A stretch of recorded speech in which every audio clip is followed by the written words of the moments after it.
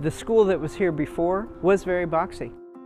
We had just buildings, three buildings in a row, and that was stick and mortar. You know, those were traditional buildings, and that's how schools were built back in the 50s. This looks so creative and so inviting and so interesting. Different colors, different configurations, built around a central campus.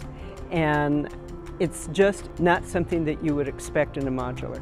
I was not familiar with Hummingbird before this project, so I really didn't know how well it was going to match with what we wanted. And it was a, a perfect match because of the way the building is constructed uh, with the individual pieces of the building and it's very conducive to the learning environment that we wanted.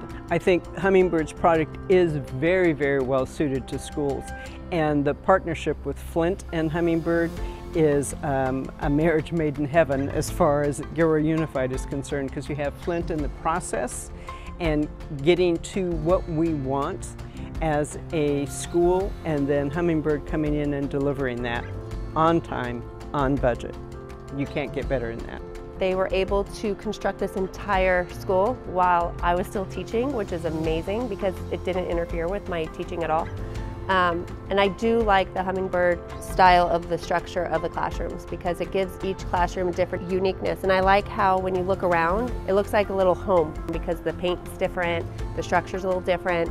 And so it's like a little community of houses instead of like your kind of boring school structure.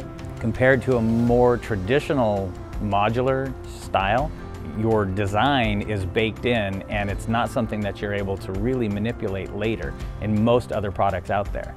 With the wall configuration here being the modular design, it's so much easier for us to be able to design for growth and modifications to all of our projects makes Hummingbird that much more valuable 10, 15 years down the road. They are a great partnership.